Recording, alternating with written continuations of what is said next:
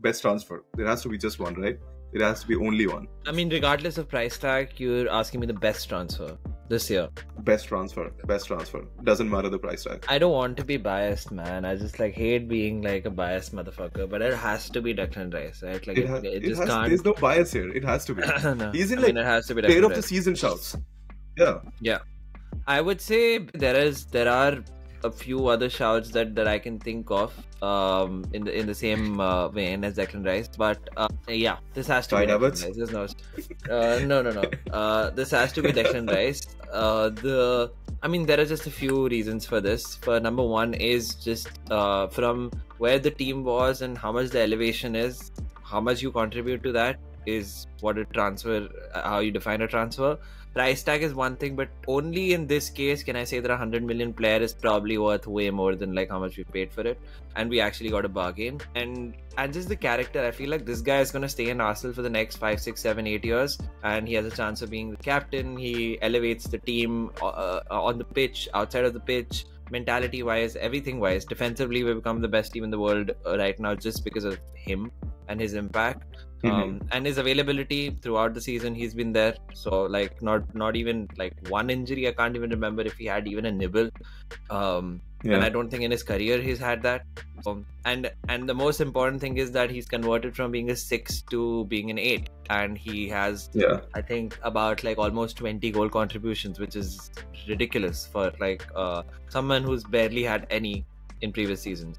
So that jump that uh, that uh, whole elevation of level and i feel like he's gonna he's gonna keep on elevating in that eight uh, role and he'll kind of be like like like aaron ramsey for us but better defensively and weirdly i feel like more impactful so yeah for me he's it Nothing. Nothing I can add. I mean, for me, the same shout. But I have one question for you, Nirav. Going forward, who, like what position do you think Arsenal need a player in?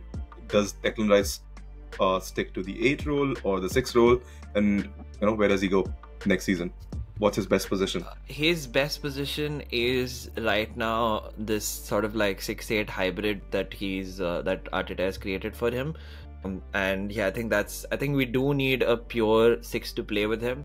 Like we can see like when Partey came into the picture how how good Declan Rice started playing, how good the whole team started performing. But yeah, he's he's changed, dude. Like Arteta has completely changed his whole style.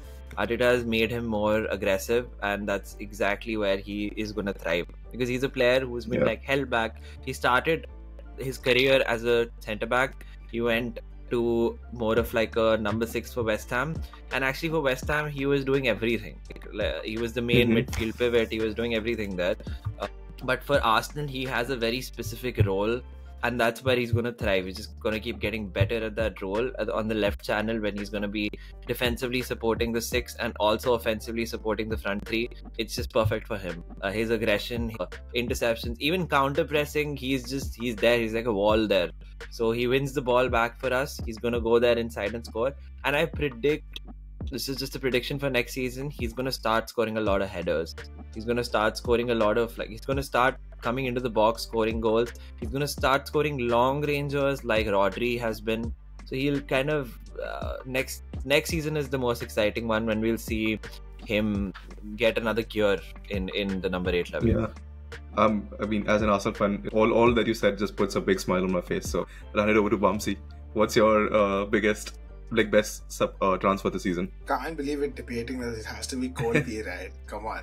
Uh, 45 million, I mean, at that price point, what a steal. I mean, Chelsea were fucking dead in the water. Like, I don't know what, I don't know what Chelsea was up to for like 30 games in the season.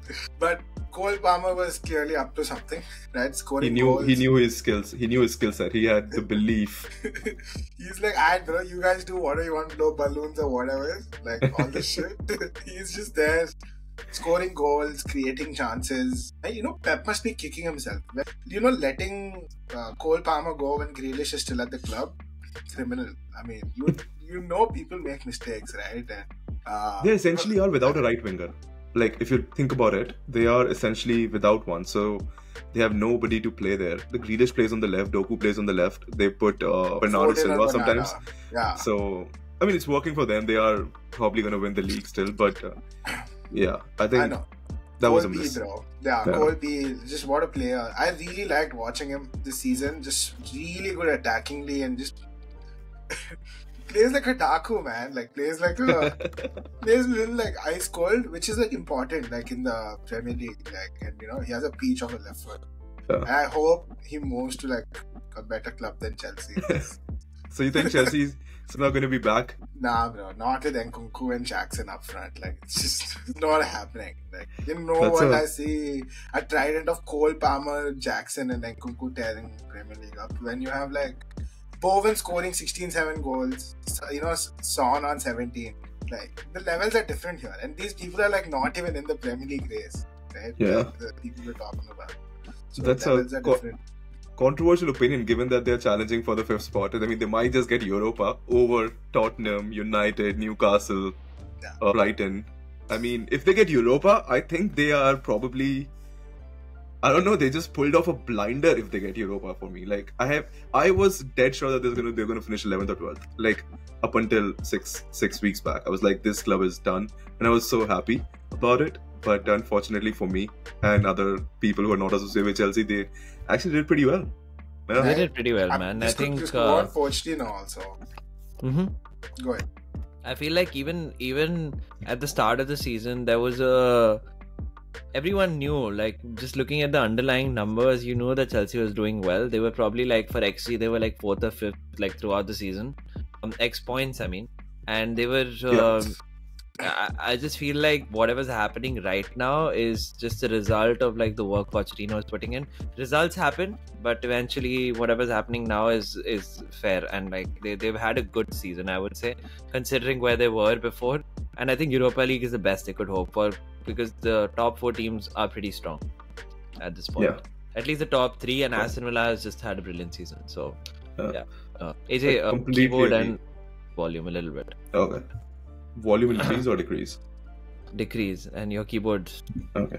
flapping. Got it. Yeah, yeah, sure. Okay, go ahead. Uh, okay, so so next one.